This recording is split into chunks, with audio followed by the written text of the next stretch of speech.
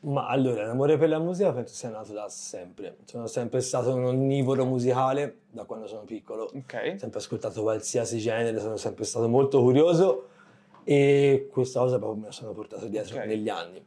Primo approccio nel club, 2005 Xenax se non sbaglio, minorenne ancora. Riuscivo Pomeriggio, domenica? No, no, Ah, sabato sera. Sabato sera. Riuscivo in Magda. e- Quello fu il battesimo, diciamo. quello serio. Perfetto. E da lì sei stato diciamo abbastanza folgorato? Sì. Avevi già preso, no? Avevo iniziato a livello teorico prima, poi andando Ok. quella sera lì ho capito, ok, questo è co- quello mi ci voglio essere io lì. Sì, esatto. Ok, anche, anche. e com'è stato quell'approccio no, a- al iniziare a suonare? Quindi eh, immagino che tu abbia iniziato a, a comprare magari qualcosa? Sì, oppure- ho iniziato con qualche software di quelli Ok. proprio free play, Certo, ma base base, ma è stata una conseguenza di quello che sentivo e di quello che sentivo e volevo esprimere. ok. Però era riferito tutto alla mia camera prima, era tutto lì, non pensavo ci fosse un fuori e potesse continuare. Ok, Poi è successo che è siamo successo. usciti dalla camera, sì. ok. Com'è stata queste prime esperienze poi con col pubblico? Ti ricordi, c'è qualche aneddoto E un po' ri- particolare? Ricordo di essere sempre stato molto teso all'inizio, Ok. soprattutto perché avevo un approccio molto intimo alla musica, cioè sentivo di mettermi Certo. a nudo molto proponendo la musica che, Che volevo suonare e quello che mi piaceva. Poi mano a mano mi sono un po' distaccato da questo elemento Ok. e ho messo dentro quello che è il mio gusto, proprio quello Certo. più settico. E ho sempre avuto comunque una buona interazione con Ok, la gente cioè ti davanti perché no, sono, esatto, sono uno che ha sempre ballato tanto. Ok. Quindi è sempre, sta- sempre, sempre stato dall'altra parte. Quindi ci rivedi anche molto in quello che hai davanti, sai che la gente cosa prova quando lì a ballare e penso, sempre, penso sempre come ti stai lì davanti. Ok, certo. Essendoci stato sempre e ci sono tuttora, Ok. mi sem- mi garba sempre andare a ballare Certo. da morire.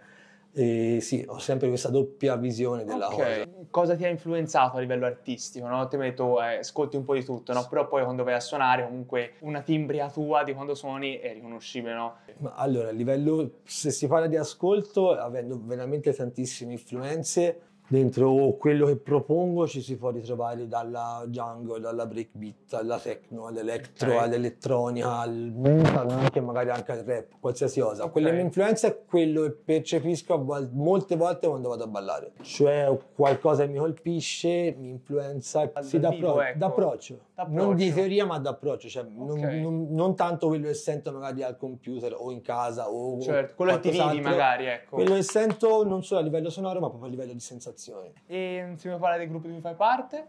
Collettivo Zeugma è un collettivo che abbiamo dal 2019, partendo da feste in villa prevalentemente di Ok. 12-14 ore che è il nostro signature party Ok. di base, però poi ci siamo approcciati nei club e proponiamo al 1001 a Colle e anche in altri posti Ok. il nostro, il nostro sound più che altro, il Ok, nostro concept di party. Ma allora l'obiettivo è di continuare a fare quello che stiamo facendo, più, più tempo possibile e Certo. sempre di farlo meglio.